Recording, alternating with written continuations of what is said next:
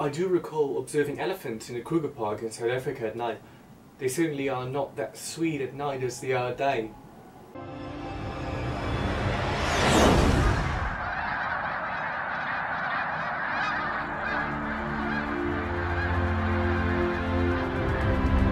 It took us five years, and it's still not enough. There's so much more to show.